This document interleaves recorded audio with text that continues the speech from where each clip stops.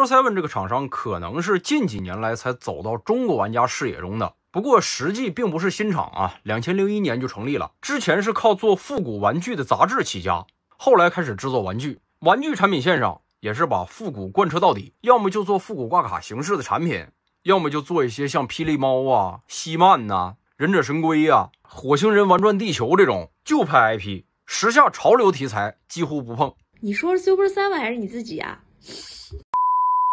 Super Seven 这个忍者神龟系列，它的包装盒制式都比较统一，顺应忍者神龟色调的焦绿的盒子，顶上做个忍者神龟里非常必不可少的标志元素的井盖，井盖顶上设计个这次的人物头像。它这包装是个比较特殊的梯形，而且是个套盒，可以看到产品的配置还挺丰富。侧面也做点顺应 IP 的涂鸦，表现个脏乱差的下水道，背后阐述一下人物来历，这算是有传承性的。这俩是忍者神龟中的人物，大的温努特，小的这个斯克鲁洛斯，这两个角色不那么具有代表性的出登场，应该是忍者神龟八六年联名零食里的小漫画。更具代表性的出登场，应该是从一九八七年开始首播的忍者神龟的动画剧集，但这不是这套的形象来源，因为 Super 七的这个忍者神龟系列，它本意是把上世纪彩星推出的忍者神龟玩具座椅豪华版的复刻，这个也不例外，就是九零年版的在设计。这个人物的定位其实非常不清晰。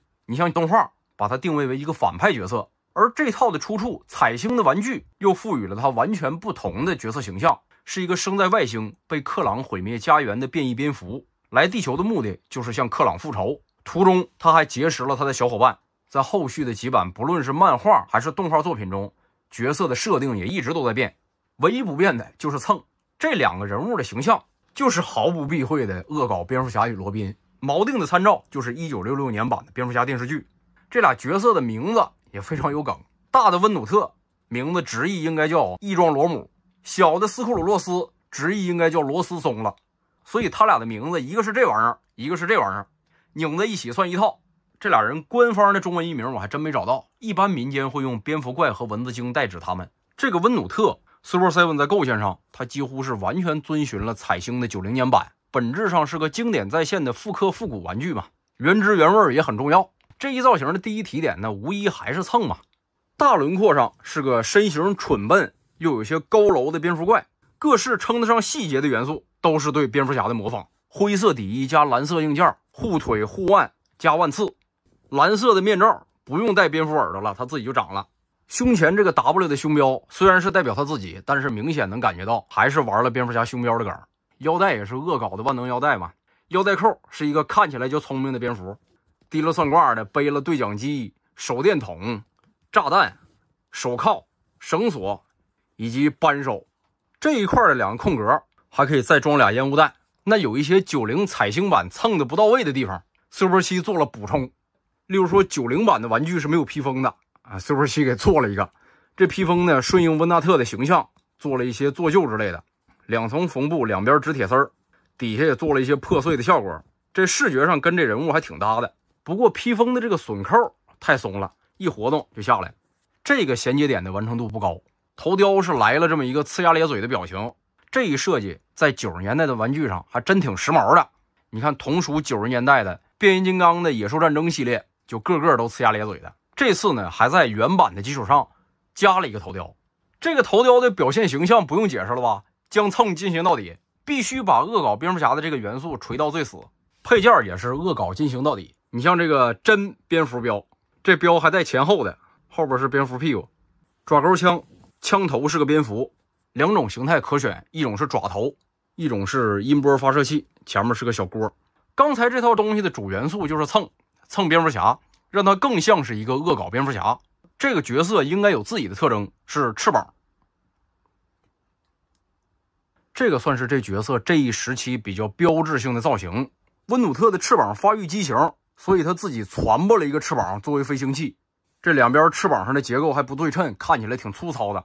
这一形象也更接近九零年的彩星版。这也算加一种玩法吧，通过披风和头雕的替换，让这个作品有双造型，或是蝙蝠侠画的，或是蝙蝠怪画的。那产品的一些细节和工艺上来讲，那主要的就是涂装嘛。九零年版的，因为它是廉价美系，有很多位置它都是偷掉的颜色。这里基本上色位就不少了，水平上中规中矩，周身也都是平涂，在肤色位置做了一些自洗性的质感，倒也没涂杂。模具上，因为这只尺寸还是不小的，所以它也堆了一定的细节，主要就是硬件上和绑带上堆这种衣物纹理。这些纹理的呈现呢，倒也不过火，不失真。因为产品的尺寸本身比较大，这个纹理的容错率也就比较高，倒是不难看。涂装失败的地方是眼睛，这个眼睛的一印两边都多了一块，从侧面看会非常糟糕。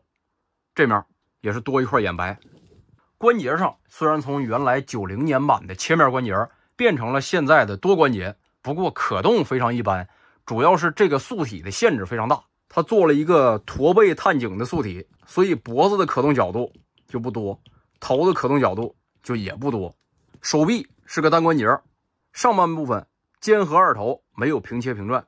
上半身是一个整体，腰腹位置有切，主要是平转价值。胯部为了保证完整性，可动也不算多。腿部是单关节的同时，它的可动幅度有限制，必须让你这样跨腿站着。脚踝有一个非常单一的关节。翅膀的关节亮点也很少，有个平转价值，有个展翼价值，没什么了。有个小尾巴，也就只有个平转价值。斯克鲁洛斯变异蚊子精这个角色基本上是和温努特绑定出现的，他也是这次豪华版最大的受益者。那原版这个角色就是一个死堂的配件，这里它其实也就是个配件规格，不过至少它是有了涂装，红黄绿的组合加眼罩，这明显也是恶搞罗宾嘛，完全不藏着掖着。非常乐天派的形象，还是个豁牙子，这也是非常标志性的白银时代罗宾形象。弯曲的尖嘴，这是人物的特征，表达它是变异的蚊子。还拉了个半透质感的小翅膀，整体反正有涂装是有涂装，但是比较糊啊。像舌头、牙齿、眼罩啊都没拆件，都是愣涂，所以牙上、舌头上、眼睛上细看也是里出外进的。皮肤上还是做了一些质感和渐变，就稍微抬一下产品质感吧。这个人物也是切了关节的。不过也是切的比较少，头部有一个，顶上是个球针可以动，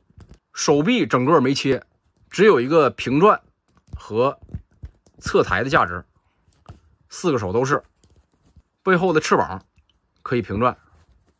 大蚊子尾巴可以平转，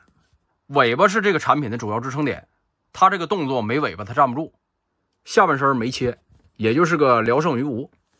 Super Seven 的这套恶搞蝙蝠侠与罗宾。产品定位上其实挺明确的，它卖的就是个情怀，卖给两类人。其一是你经历过九十年代的彩星忍者神龟系列，并且对这个系列满怀追忆，那么以现代工艺在保证原始设计的前提下做相对高配的呈现，那么有不少人是不能拒绝的。那另一方面呢，不针对这个系列，只针对这个产品，它这个恶搞蝙蝠侠与罗宾的形象。啊，确实是十分有趣儿，而且这个重置版它实现了很多原版没有蹭到位的细节，蹭的极其彻底，连官图都是这么拍的。